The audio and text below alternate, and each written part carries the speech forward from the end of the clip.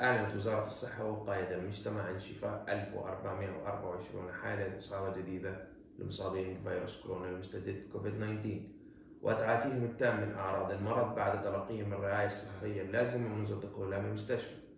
وبذلك يكون مجموع حالات الشفاء 94903 وأعلنت وأعلنت الوزارة عن إجراء 120665 فحصا جديدا خلال ال 24 ساعة الماضية على فئات مختلفة في المجتمع باستخدام أفضل وأحدث تقنيات الفحص الطبي وساهم تكثيف إجراءات التقصي والفحص في الدولة وتوسيع نطاق الفحوص على مستوى الدولة في الكشف عن 1075 حالة إصابة جديدة بفيروس كورونا المستجد. من جنسيات مختلفة وجميعهم حالات مستقرة تخضع للرعاية الصحية اللازمة.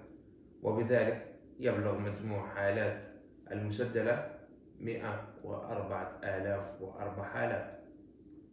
كما أعلنت الوزارة عن وفاة أربع مصابين من تداعيات الإصابة بالفيروس. وبذلك يبلغ عدد الوفيات في الدولة 442 حالة.